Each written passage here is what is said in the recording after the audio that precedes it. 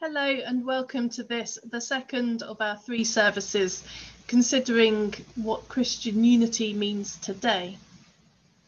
This service will be focusing on unity between denominations, thinking about how Christians work and worship together despite all our differences.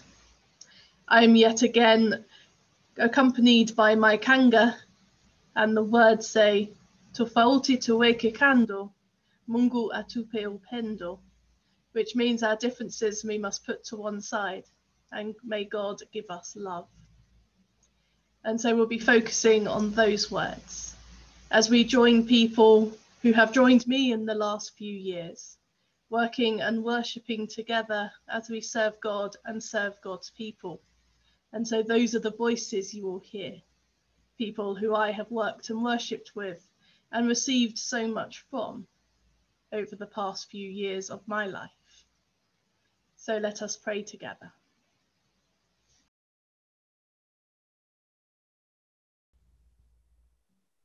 May the grace of the Lord Jesus Christ, the love of God, and the communion of the Holy Spirit be with you always. And, and also, with you. With you. Brothers and sisters in Christ, this year the theme of the Week of Prayer for Christian Unity, chosen by the Sisters of the Community of Grandchamp in Switzerland, is Abide in my love, and you shall bear much fruit. It is the great desire of God expressed by Jesus that we might come to him and abide in him.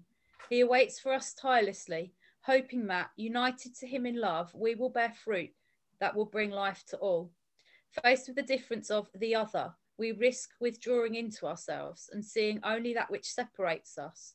But, li- but let us listen to how Christ calls us to abide in his love and so bear much fruit. In this time of prayer which follows, we remember the call of Christ. We turn to his love, to him who is the center of our life. For the path of, our, of unity begins in our intimate relationship with God. Abiding in his love strengthens the desire to seek unity and reconciliation with others. God opens us up to those who are different from us. This is an important fruit, a gift of healing for the divisions within us, between us, and in the world. Let us, in peace, let us pray to the Lord. Lord, you are the vine dresser who cares for us with love. You call upon us to see the beauty of each branch united to the vine, the beauty of each person. And yet, too often, the difference in others makes us afraid. We withdraw into ourselves. Our trust in you is forsaken. Enmity develops between us. Come and direct our hearts toward you once again. Grant us to live from your forgiveness, so that we may be together and praise your name. Psalm 95. O come, let us sing to the Lord. Let us heartily rejoice in the rock of our salvation. Let us come into his presence with thanksgiving and be glad in him with psalms. For the Lord is a great God and a great king above all gods. Come, Come let us let worship, worship bow down. down. In his hand are the depths of the earth, and the heights of the mountains are his also. The sea is his, for he made it, and his hands have moulded the dry land. Come, let us worship, let us worship and, bow and bow down, and, and kneel before the Lord our Maker. For he is our God we are the people of his pasture and the sheep of his hand. Come, Come let us, let us worship, and bow down. down. 1 Corinthians chapter 1 verses 10 to 13. I appeal to you, brothers and sisters, in the name of our Lord Jesus Christ, that all of you agree with one another in what you say, and that there be no divisions among you, but that you be perfectly united in mind and thought. My brothers and sisters, some from Chloe's household have informed me that there are quarrels among you.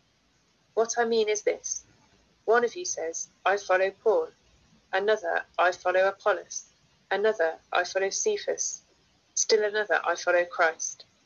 Is Christ divided? Was Paul crucified for you? Were you baptized in the name of Paul? So I invite us all to share something of the joys of worshipping with Christians and working with them, Christians with, from other churches. Amy, would you like to start? Okay.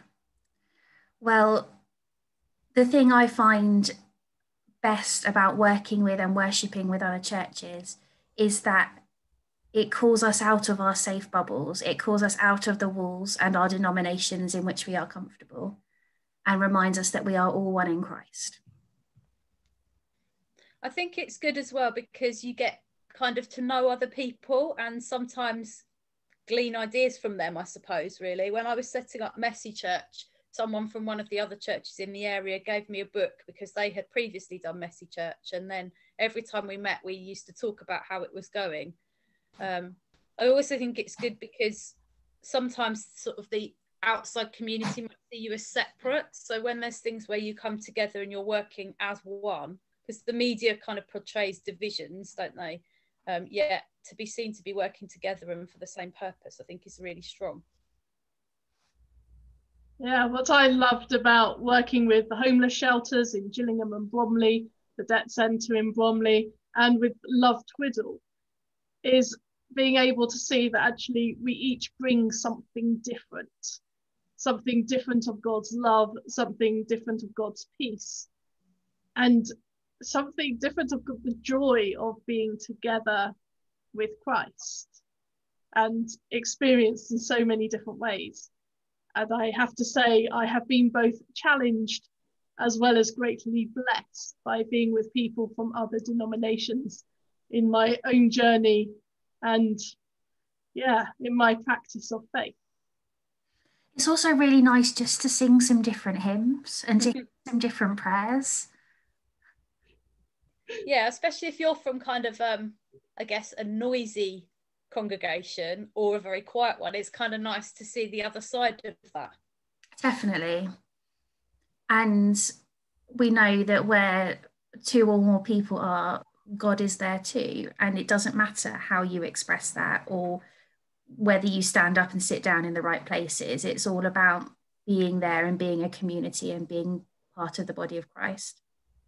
I think that's really valuable to see as well because I guess some people maybe have grown up in their church and maybe haven't been able to visit other places or experience other worship. So when you see people from other churches working together and seeing how they do things, even if it is different and might seem a bit strange at first, it's it's a good experience to have because otherwise you might think that everyone does it the same way you do if you've grown up with it. Where do I start? So um, yeah, I think I I got involved with the night shelter some 12 years ago now, and um, I would say that was the beginning of a time which brought me into contact with many other local churches of all different tradition and style. And it's just been an absolute joy. I feel like, I suppose before, uh, I feel like probably I was in a bit of a silo in my church, which is um, an AOG, Assemblies of God Church. So that we're, I'm, I'm kind of been in that tradition for about 20 years. Um, having had a Catholic background actually. But um, the joy of just being with other Christians in other churches, it's just wonderful. You, it, it breaks down walls. It feels like in in the, the shelter where I kind of first got involved, it is really feeling like you're doing church without walls, which is is amazing. Um, and it's great you're, you're meeting other church leaders you're, you're making and you're not just kind of going to i mean i have in the past been to prayer meetings where you can go and that's great in, in churches together but you don't necessarily it doesn't necessarily give space for um, creating friendships and relationships and i think that's when i when i was working with the shelter that's what that enabled for me but moving on from that as well that kind of paved the way. We there was a number of different churches went to a CAP breakfast, and uh, we were being encouraged to open a debt centre. And everyone was thinking, yeah, this is a really good idea, but how do we go about it? It was all it all seemed too big for one church. and it was interesting because I, I, do believe it was the relationships that we'd made um, between those different churches with the shelter that we then sat around a table and we said, none of us can do this on our own, but actually we could probably do it together. And it took us a little while. We kind of did go around in circles for a bit, but it was amazing how God just brought in the different people to make it happen. And there was a bit of a faith journey there, um, but wonderful. We prayed together. Um, we really prayed together because we had we didn't really all have the, the enough finance for what we needed to do, and um, it was just wonderful how we saw God move in that situation. And there was, um, you know, there was churches, uh, Anglican churches, Catholic churches, uh, Assemblies of God. There was other independent churches. Um, I, I don't remember all of the, the names and the labels, but actually I've come to realize that doesn't really matter because the wonderful thing is I, I, I, in my head, I think God must look down and just think, this is what he wants his church to be.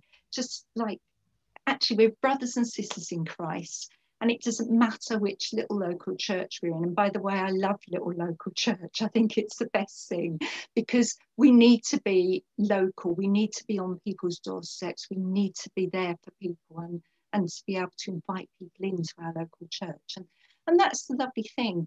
We can still all do our lovely uh, local expressions. We can be who we are, We're who our expression is through our church.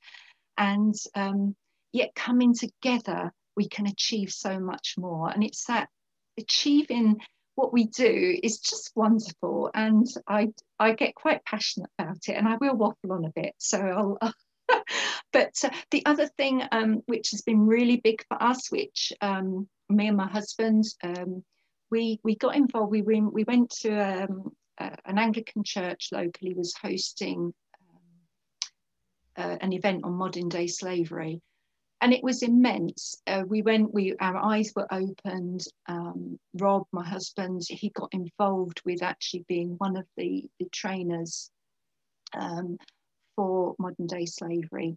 And it, again, it's another wonderful opportunity of how churches can work together. We went to that event that another church had put on, but it's not about, uh, what can I say? It's not about um, being precious about our own church, I suppose. We love our church where we're planted, and that's wonderful. We have all those friendships and relationships, but equally, you look outside your church, and, and I, for me, I, I repeat, it, it, I kind of came out of that silo, and it was just wonderful to be in unity with brothers and sisters in Christ just across the borough.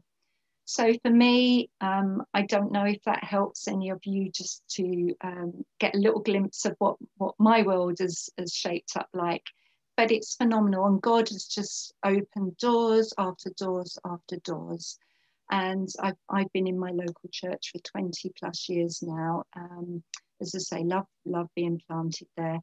Um, but absolutely wonderful experience to be working across the borough now. We have um, something called Transform Bromley Borough, which is a group of churches, came together. They've been praying for a number of years, and through the work with the shelter and with CAP and and so on, um, been able to work with Transform Bromley, which is it's yeah, it's a group of churches.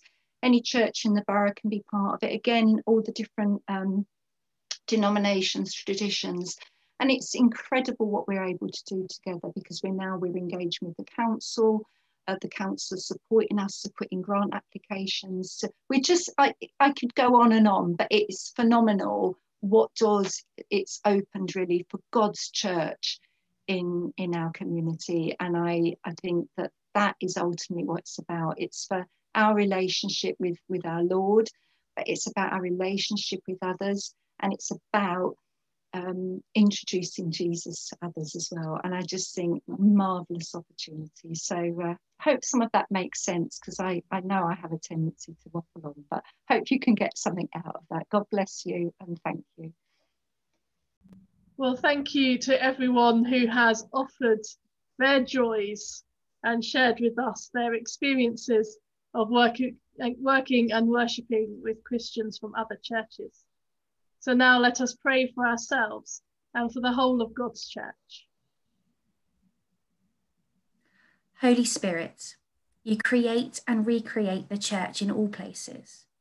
Come and whisper in our hearts the prayer which Jesus addressed to his Father on the eve of his passion, that they may all be one, so that the world may believe.